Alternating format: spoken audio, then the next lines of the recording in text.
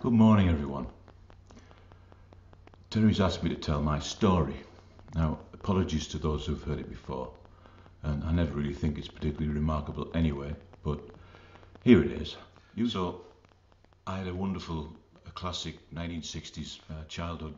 The weather was always sunny, and we did mountain walk. We had great parents, uh, a dad who could fix absolutely anything. Um, at that point in time, my folks were Methodists, so I was dragged along to church until I was old enough to refuse. Um, and it never really felt real to me as such. So, anyway, at 13, um, I joined a band. Uh, we played a lot of old people's homes and village fetes. And uh, at 16, we were told that O levels were much more important, so we had to stop doing that. And, uh, and that was that. Um, I hated school. In fact, uh, I spent more time at my pal's farm shooting and driving cars and riding motorbikes. Uh, and uh, I got mediocre results in school anyway, so I left as soon as I could uh, and I started work. Um, and then some years later, in one of those God coincidences, I guess, uh, at 20, I bumped into one of my former bandmates, who actually is probably now my oldest friend. Um, he was in a Christian rock band, and one thing led to another. And before I knew it, I joined a house church. Uh, that August, I was married. Uh, it was probably unwise at best, and it turned out to be a disaster. Um, but on the 1st of September in 1982, um, I sat alone in my uh, TR7 sports car in a car park, and I made a decision to follow Jesus, whatever that meant to me at the time, or at least uh, give him a try. Um, then that November, um, I was baptized and uh, hardcore baptism, none of this heated tank thing. It was in a cold river up in Weardale, and I think that's probably when I met met the uh, supernatural God for the first time. And without a doubt, coming out of that water, I was I was changed. I felt completely different, and it's so hard to explain. But that experience almost 40 years ago now, stays with me vividly. Anyway, this church was one of those that, was kind of popular at the time. Uh, they suggested that you couldn't really be a real Christian without the gift of tongues. So there was a little bit of time uh, where I was a bit confused about all of that. Um, because back then and today, I guess, um, people can take a small part of the Bible, uh, quote it out of context, and maybe justify their own opinions. In 1 Corinthians 12, Paul says, Now, to each one, the manifestation of the Spirit is given for the common good. To one, there is given through the Spirit a message of wisdom. To another, a message of knowledge by means of the same Spirit. To another, faith by the same Spirit. To another, gifts of healing by that one Spirit. To another, miraculous powers. To another, prophecy to another distinguishing between spirits, to another speaking in different kinds of tongues, and to still another the interpretation of tongues. All of these are just the one of, work of the one and the same Spirit, and He distributes them to each one just as He determines. So, anyway, that gift, I suppose, when I stopped asking for it, it came in the end. Um, and looking back, I think possibly that period might have triggered a bit of a warning sign. Anyway, for a few years I was full on for God, but sure enough, the house church fell apart. Um, I joined an Elim church, I started a band, a youth club, we played across churches across the northeast. Uh, even we did a three night tour of a, a village outside of Glasgow, which was like very glamorous. And then comes 1984, and Billy Graham comes to Roker Park and loads of us went along, and I saw many, many of my friends go forward to that altar call. Sadly, few of those are actually have remained in the in the faith, um, and it was kind of a, a, wonderful time and a wonderful experience. But the, the emotion of those kind of events can, I guess, sometimes get out of control. Anyway, meanwhile, the career was going quite well, and somehow with a few O levels, I managed to work myself up uh, through management quite quickly. But better than that, I met my lovely wife Barbara. Uh, we were both in the process of being divorced, and in '89 we married. And there I was with a lovely wife and a ready-made family, with our daughter Lucy, then five years old. Uh, we moved to Sheffield to build a distribution centre. We worked together for a long time, sharing that success. Barbara wasn't, she still is um, a practicing Catholic. She's always been very involved in the church, and throughout my time in this sort of spiritual wilderness, she maintained her faith and her disciplines. Uh, Lucy went to a lovely Catholic uh, primary school, and I enjoyed the company of a priest who was a wonderful, godly Irishman with a great talent for telling stories and unpacking the Bible, and a great taste for Guinness, which I learned to share too. Uh, the career was good, but there wasn't much time for God, not much time for the Bible. So this, although I would say I was successful in inverted commas, essentially for 20 years I was probably in the wilderness. Um, I never really lost faith in God, but I thought I didn't need church, and especially didn't want to hang around with religious people. Um, the thing is, even when you think you've left God, He hasn't left you. Um, and one of the amazing things that I, I, I kind of realized back then was in my view, I thought, well, you know, once saved, always saved. Whatever we've done, uh, wherever we've been in life, God can never love us any less or any more. And He loves us unconditionally. Uh, in Romans 8, Paul says, For I am convinced that neither death nor life, neither angels nor demons, neither the present nor the future, nor any powers, neither height nor depth, nor anything else in creation will be able to separate us from the love of God that is in Jesus our Lord. And when I got that and understood that, everything became clearer. Anyway, back to the story. So um, there we are, doing all right, um, living in Sheffield, got enough money and a couple of houses and what you would say to be material success. And then the wheel came off. I've been riding motorbikes all my life from the age of 12 on the roads from 16 and I never didn't have at least one bike but I never had an accident. Uh, on racetracks I had a few near misses. One in fact just a few days before my accident I got a speed wobble at 180 miles an hour at Cadwell Park and I did wonder whether I would make it through the other side of that but that was that was all fine and then a really low speed crash around town, uh, bounced across the road, came to rest on the footpath, and I sat up, took off my jacket my helmet, wept about my broken bike that was still bouncing down the road, but I wondered why I couldn't feel my legs. Anyway, it turned out I broke my spine. Um, for four months, I was basically strapped to a bed, uh, learning about the real impact of spinal cord injury. I do remember on maybe day three, the consultant telling my wife and parents, "Don't worry, we'll let won't let him leave until he's clean and dry." And I said, "What's he talking about? I don't know what that means." But I came to realise that not being able to walk is a tiny part of actually what happens when you sever your spine. Uh, after a week or so, I had surgery and some titanium fitted. Uh, surgery didn't go particularly well, and I was ill for a few days. And then I remember coming out of unconsciousness uh, to see the Twin Towers on the TV, and I thought that was uh, part of the morphine experience. Uh, and sadly, it wasn't. So, you know, if you ask where were you on that day, I could tell you exactly. And for weeks and weeks, um, I ranted at God. Come on, what's this about, God? Again and again, what's this about? I get it. I know you're there. Uh, I know you're still there for me, but why? Why? Why has this happened? And I'm not saying this was like simple or quick, but eventually I started to sense something in my spirit, God saying, I love you, it's going to be all right.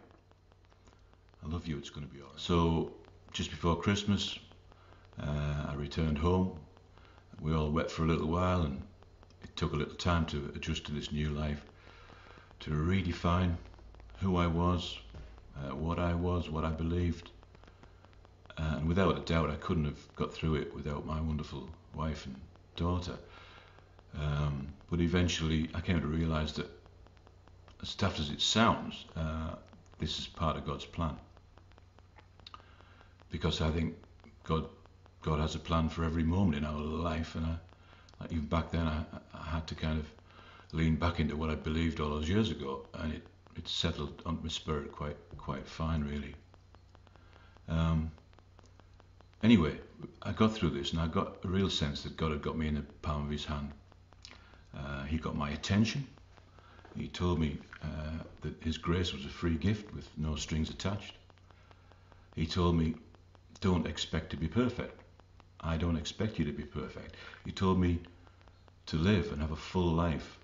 He told me I was loved. He told me my past didn't matter.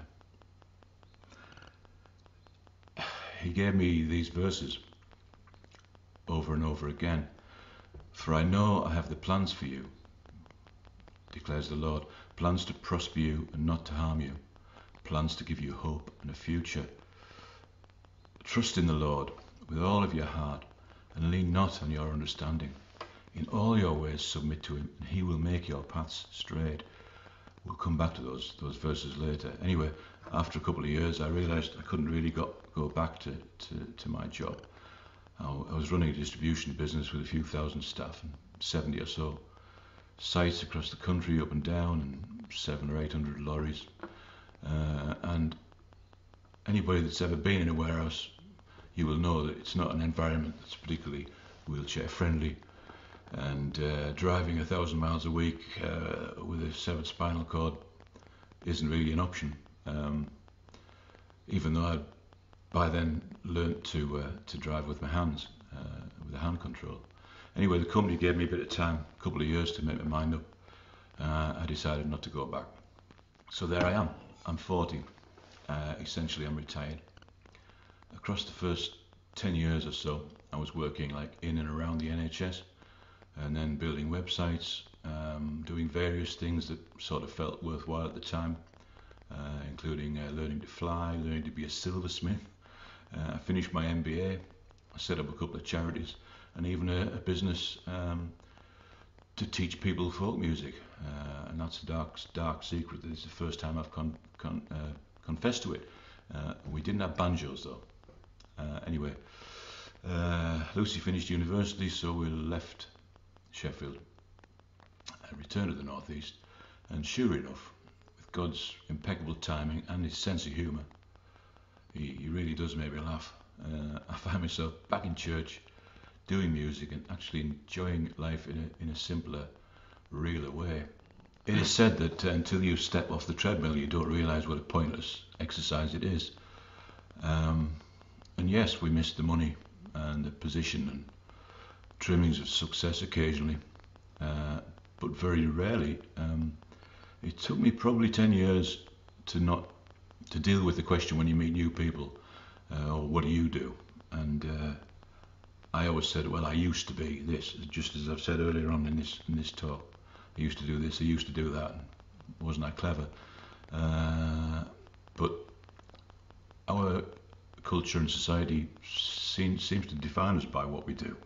And uh, when something like this happens to you, uh, I guess you'd call it a life-changing experience, then you have to kind of redefine what you are and stop worrying about what you do, what you drive, where you live, because really it doesn't matter. Um, so, where's all this going? I've got three words, uh, three big words, and each word could really be a sermon or two in itself. The first thing I've got to say is I still struggle with all of these things, and I suppose I always will, but it is a journey. It is a journey, and it's a journey that you have to do uh, with God. It was terrible. I sat in the big hall and put my packet of polos on the desk, and my spare pencil and my support gonk, and my chewing gum, and my extra pen, and my extra polos and my lucky gonk, and my pencil sharpener shaped like a cream cracker, and three more gonks with a packet of polos each, and lead for my retractable pencil, and my retractable pencil, and spare lead for my retractable pencil, and uh, chewing gum, and pencils and pens, and more gonks. And the guy said, stop writing, please. Thanks, Neil. Matthew 6, 25 to 34. This is from the message version.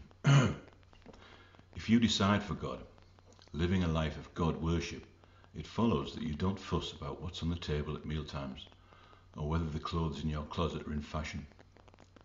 There's far more to your life than the food you put in your stomach. There's far more to your outer appearance than the clothes you hang on your body. Look at the birds, free and unfettered, not tied down to a job description, careless in the care of God. And you count far more to Him than the birds. Has anyone, by fussing in front of the mirror, ever got taller by as much as an inch? All this time and money wasted on fashion, do you really think it makes much difference? Instead of looking at the fashions, walk out into the fields, look at the wildflowers. They never primp or shop, but have you ever seen colour and design quite like it? The ten best dressed men in the country look shabby alongside of them. If God gives such attention to the appearance of wildflowers, most of which are never seen, don't you think he'll attend to you? Take pride in you, do his best for you. What I'm trying to do here is to get you to relax, not to be so preoccupied with getting, so you can respond to God's giving. People who don't know God and the way he works fuss over these things, but you know both God and how he works. Steep your life in God reality, God initiative, God provisions. Don't worry about missing out. You'll find all your everyday human concerns will be met. Give your entire attention to what God is doing right now. Don't get so worked up about what may or may not, may not happen tomorrow.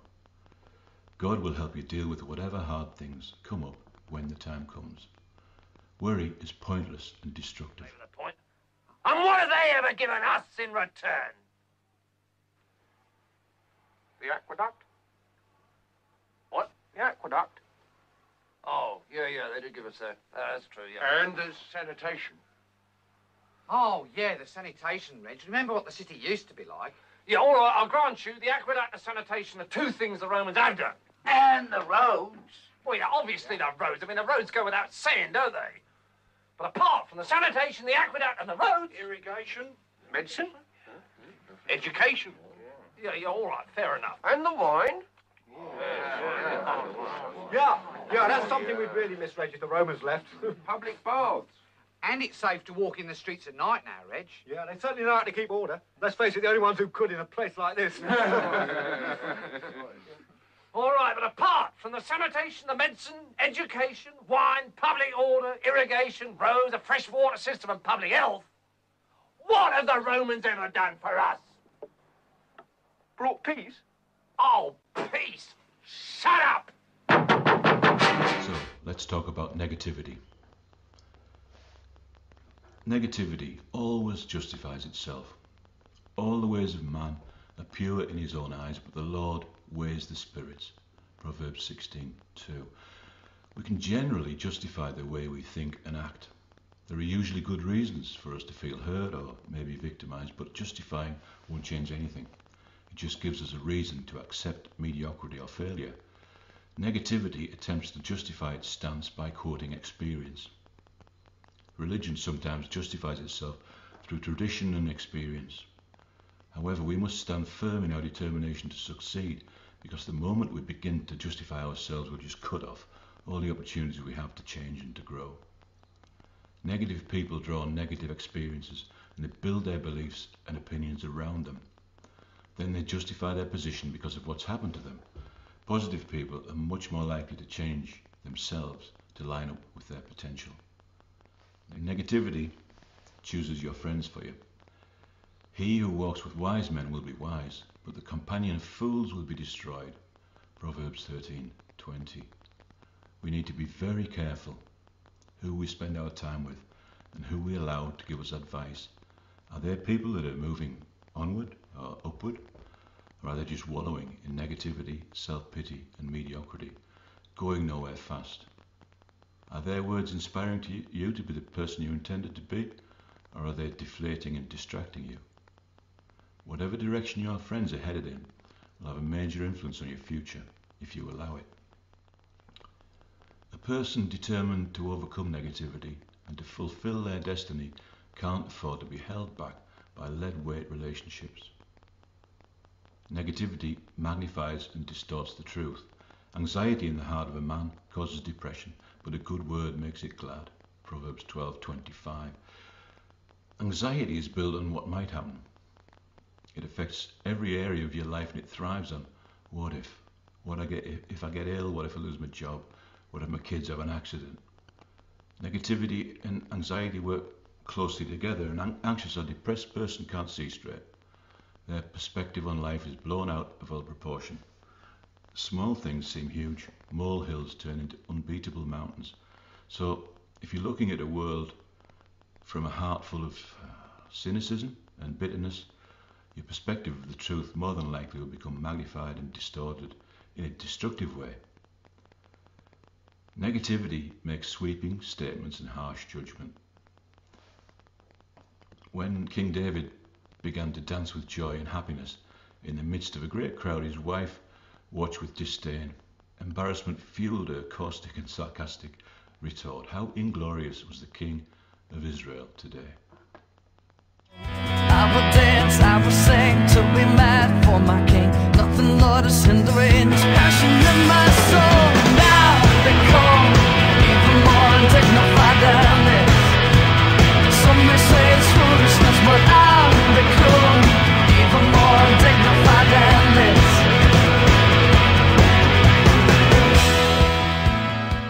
Dancing the real issue? Or was it the negative condition of his wife's heart that prompted her to make such judgment? It's so easy to watch people from a distance and make sweeping judgments about them. Sadly, the need to criticize or pull down comes from a negative condition within us. Negativity will rob you. It will rob you of the great future that God intends. So challenge the negativity in life. So if we can overcome negativity, and if we can overcome worry, where does that leave us?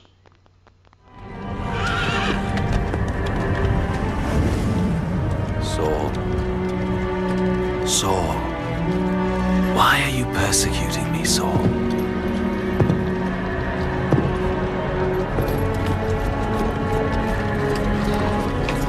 Who are you? I am Jesus, whom you are persecuting. Get up, enter the city of Damascus. You will be told what you are to do.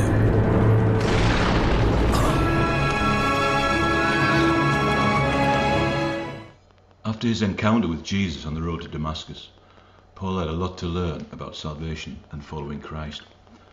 Throughout his time, the apostle shared what he was discovering. In his letter to the church at Philippi, he wrote about a very important life lesson, the secret of being content. You might think, what kind of life brings contentment? You might assume it's one with few troubles or great success. You might want great health, financial security, and a loving family. I know I did. Paul's life wasn't like this at all. He was in danger from both his own countrymen and the opposition. Sometimes the people listened, but more often than not, they were hostile to his message. He also had a thorn in the flesh, which God refused to move. Few theories about what that thorn was, but I think each of us has their own thorn. Mine is nerve pain. It, it's a chronic condition, never goes away. Um, and it affects sleep and all the rest of it. But really, that's nothing compared to Paul, who spent time in prison. He was chained to a guard, yet he wrote, I've learned the secret of being content in any and every situation. The secret he discovered was to learn to live on the basis of his position in the Lord and not his feelings. As God's child, Paul knew he was spiritually rich. He was blessed with every spiritual blessing in the heavenly places in Christ because he had a loving Father and the Holy Spirit's guidance. So contentment in our, especially now I think in uh, in this post-COVID media-driven era, it's hard to find and it's harder to keep. There's always something newer, bigger, or better to buy, and someone else has always got what you want. When you feel unsatisfied, try basing your response on your position as a co-heir with Christ. Yes, a co-heir with Christ. Remember we've talked about how he can't ever love you more. And he meets you where you are. And he takes you as you are. Contentment can be found, but it can't be found without that relationship. So, to close, this has gone on a lot longer than I planned to, so apologies for that. Let's all declare, I've learned to trust God, even when it seems impossible. I've learned not to worry about anything. I've learned to be content. I've learned that negativity is a robber. These words aren't just adjectives, they're verbs, they're choices. We must actively choose not to worry. We must actively choose to learn to be content, whatever our circumstances. Finally, we must actively choose to try to not be negative and to avoid spending too much time with negative people because that negativity will rub off. Thanks for listening, church. Amen.